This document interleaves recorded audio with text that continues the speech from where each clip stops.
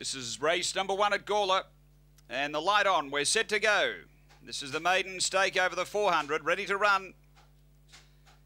Set and racing. Speed Blackwater Girls diving through to grab the early lead. Rackmere gets to second. Uh, then came Free Fury getting around it. Stitchem Dolly railing up Long Gully Don. Uh, they were followed by Early Boys and Long Gully Marley. Off the back, Blackwater Girl about a couple clear of Rackmere and three away Long Gully Don. They race to the turn. Blackwater Girl led. Rackmere trying to lift out after it. Railing hard. Long Gully Don.